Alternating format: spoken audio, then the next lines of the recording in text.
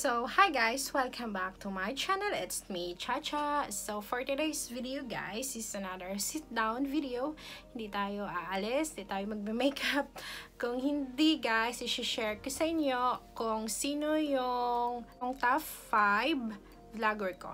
So, ayun na guys. Before pala ako mag-reveal ng top 5 vlogger ko guys, um, shout out po muna sa mga ka-groupmate ko worldwide vlogger po. So, alam niyo na po kung sino po kayo. Shout out po sa inyo. Kumusta po kayo?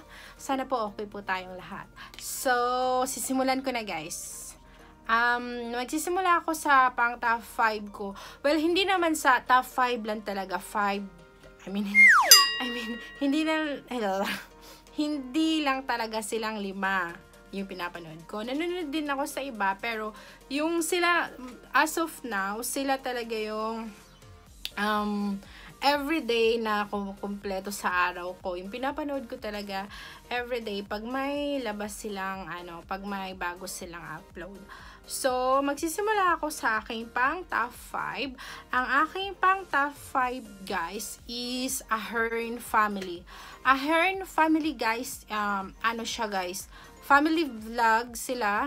Fami family vlog sila, guys. Yung asawa niya, um, foreigner, tapos yung lalaki, foreigner yung lalaki, tapos yung si Mami John Jodeline, Uh, may lima siyang anak, guys. Si Erica, si Kathleen, si Michael, si Josephine, at saka si Brayden.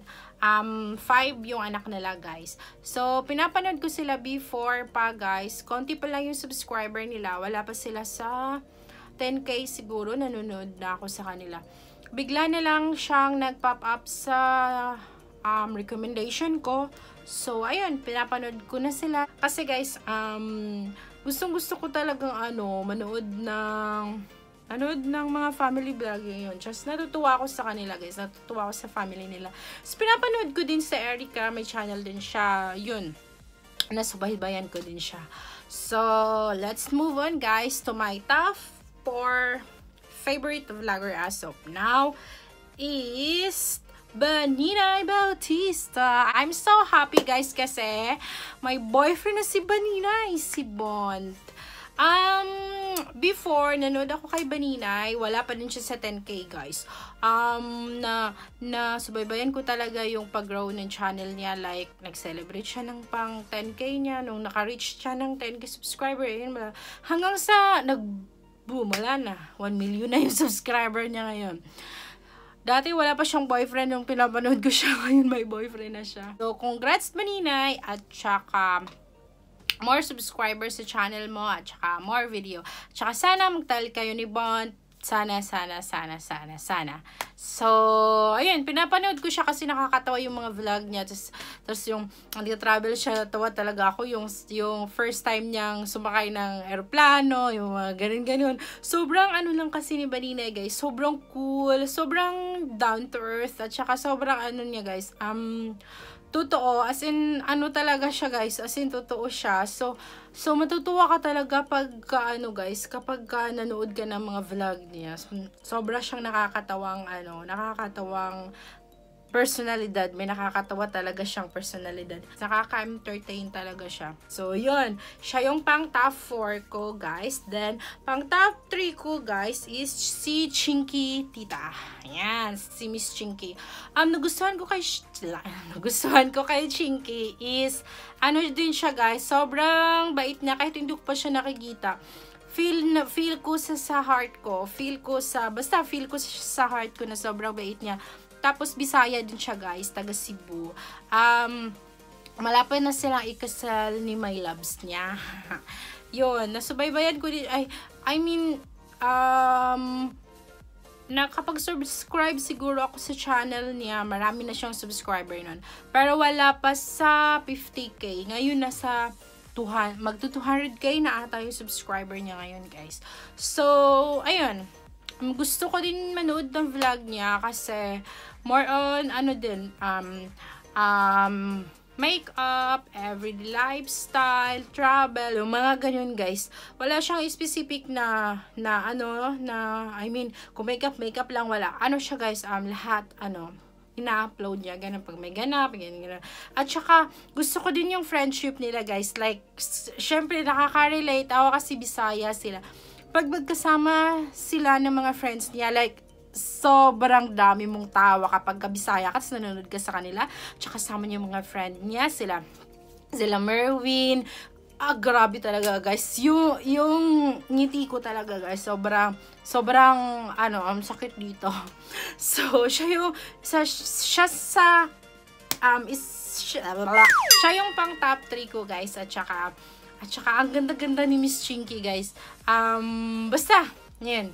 Siya yung pang top 3 ko.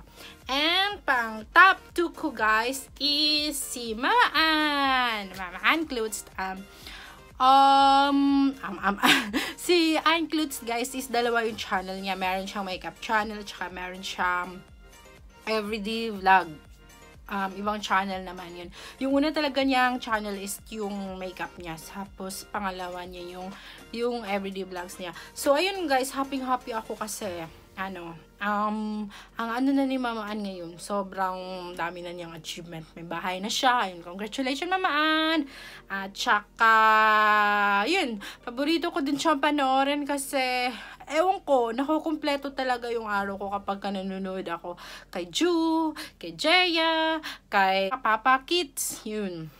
Tsaka, sobrang, sobrang gustong gusto ko yung family nila, guys. At tsaka, gusto ko talagang manood pa ulit. ulit. Gusto kong manood ang family vlogs, tsaka mga friends, tsaka travel, mga ganun-ganun. Guys, si Mama Ann is beauty, beauty vlogger siya, guys. So, may benta siyang mga brushes like, so, so far, super fan niya ako, guys. So, yung nag-release siya ng, ng beginner brushes. So, bumili ako noon dito sa Dubai. And then, second yung new-release is yung Eye Essential which is hindi ko binili, hindi ko inabail kasi pag may beginner brushes ka, meron na din namang ano doon, meron na din namang pang makeup pang eye makeup brush doon. So, pinili ko na lang na hindi bumili noon kasi hindi naman na ako talaga uh, mahilig sa eyeshadow. So, kapag nag-eyeshadow ako, pwede kong gamitin yung nasa um, makeup makeup brush beginner niya.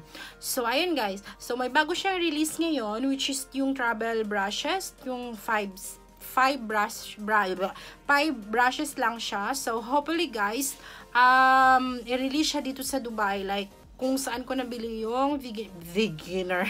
saan ko nabili yung beginner brushes ko. I hope so na uh, um, mag-release din sila dito sa Dubai para para para kami na na sumusubaybay kay Mama Ann Clothes yun makabili rin sana kami. Kasi gustong gusto ko talaga bumili dun yung yung travel travel brushes travel travel brushes na yan guys.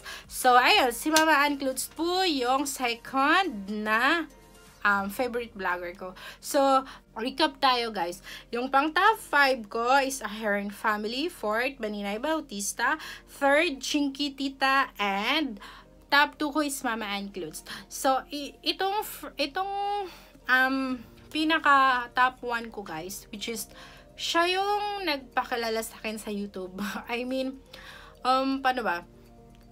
Um, nanonood kasi ako na ng video sa Facebook, tap tapos, um, may ano siya doon, may tutorial ata siya doon. Yung, yung nagugupit-gupit siya ng mga damit, um, crop top ata yun. Bas, not crop top.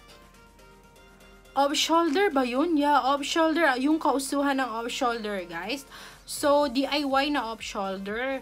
Tapos, napanood ko yung video niya kung paano niya ginawa sa Facebook. Tapos, may link doon. Sabi niya, um, kung gusto niya akong i-follow sa YouTube, may YouTube channel ako doon. Tapos, pumasok ako doon sa link na yun, guys. Tapos, na-redirect ako sa YouTube. Tapos, doon ko nakilala sa YouTube, guys, like 2016, yeah. 2016 ako nagsimulang, ma, nagsimulang mag-YouTube. So, 2016 2016 ako na, na inganyo na mag-YouTube dahil sa tao na to. Kasi guys, alam mo, um, sobrang liit lang niya na tao, pero ang daldal niya, like, pwede mo siyang ilagay dyan, tapos magdadaldal na siya nung magdadaldal, magdadaldal. At saka guys, I'm sorry guys, nagalaw kayo. At saka guys, Bisaya siya. So, yun yung, yun yung parang, parang na, anuhan ko din sa kanya kasi, Bisaya din siya guys, taga Cebu. Pero ngayon, nasa Australia siya guys. Kasi, um, nakapangasawa kasi siya ng Australiano. So, doon na siya nakatira ngayon sa Australia habang nanonood ako ng vlog niya, as in everyday talaga guys, yung, yung nakilala ko na siya as in, yung binalik balikan balikan ko talaga yung mga una-una pa niya vlog guys. Ayun uh, nag nag-marathon talaga ako sa channel niya. Tapos doon doon ko na ano ah may YouTube pala. Pwede pala ang ganito? Ah sige sige. Parang ganon. Parang parang parang na i-encourage ka pa, pa na, ah, magano lang pala, parang ganito. Basta guys, ayun, yun na nga, hindi ko ma-explain. Basta yun yun. Yun yung nangyari sa akin. Yun yung story how I start YouTube because of her. So, siya pala si Raised, guys. Ang channel niya is Simply Raised. Uh, maliit lang siya na tao. maliit lang siya na babae. For, for 11 lang ata siya. Pero guys, napakadaldal niya, napakagaling, napakaganda, napaka-down to earth niya guys. So, yun. Natutuwa ako sa mga vlogs niya kasi um, um, about life, family, friends, ganun guys. Si Raised kasi guys, na subaybayan ko siya ano din, wala pa, hindi pa siya nung nag 10k guys. Naalala ko, wala pa siya sa 5k nung ano, nung fina, ano, finalo. Nung nag-subscribe ako sa channel niya guys, wala pa siyang 5k nun. Ngayon, nasa 600k na yung subscriber niya. Nasusubaybayan ko talaga yung growth ng channel niya guys from, from nag-reach siya ng 5k until 10k. Yun. Tapos, tapos 100k, ganun guys. Tapos, um, na-invite na din siya dun sa TFC ata, yun sa Dubai, na nag, nag, pinicture yung love story nila ni Dan. Tapos yun, sobrang, sobrang happy lang talaga ako kay Miss Race at saka, sobrang idol ko siya sa pag-YouTube. Both sila, both, both sila ni Ma'am Ann, guys, tsaka ni Chinky, ayun, mga sila talaga yung, yung nagpapa-encourage sa akin para, para mag-upload ng more video, mga ganun. Sila yung kumukumpleto sa araw ko, nanonood talaga ako sa kanila, ganun, guys. Tapos, tapos, um, si Simple Race, may mga kaibigan siya. Doon ko din, doon ko din nakilala yung mga kaibigan niya na nakabase doon din sa Australia. Like, yung first talaga is tatlo lang sila. Um, si si Cathy Maganda, na may baby na ngayon, si Baby V, at saka si Anne Paris, at saka si Simple Race. Before, tatlo lang talaga sila hanggang duma dumami. Hanggang sa nagdagdagan yung circle of friends nila. Which is si Lyra, si Lovely, and tsaka si Mami Chona. Um, pinapanood ko din sila guys. Like, hindi, sabi ko sa inyo, hindi lang yung top 5 ko yung pinapanood ko. Like, like, everyday guys. Pero, pero sa top 1 ko, kasama na sila doon. Ang tawag kasi sa, ila, sa, sa kanila is Inday. The Indies. So, pinapanood ko din sila, guys. Like, si Cathy, si Cathy maganda, pinapanood ko siya. Birme lang. pinapanood ko din siya. Tapos si Lovely, kasi family din. At saka, um, natutuwa talaga ako sa kanila, guys. Sobrang nakakatuwa talaga sila panoorin. Tapos si Mami Chona, si Holly, si Zach, si TJ. Ayun, nakakatuwa sila, guys. Sila yung palagi pinapanood ko. Tapos, um, si Lyra, tapos si, si Lovely, si Anne Paris, yun.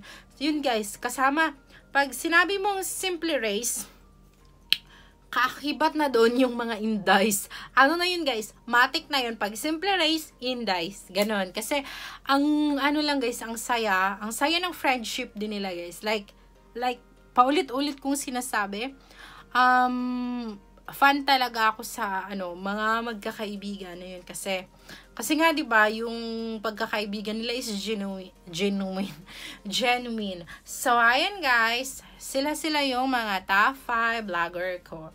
Si Ahern Family by Nina Bautista, Shinky, Mama Ann, um, Simple Rice, and The Indies. So, ayun guys. Kayo guys, sino yung mga favorite vlogger nyo?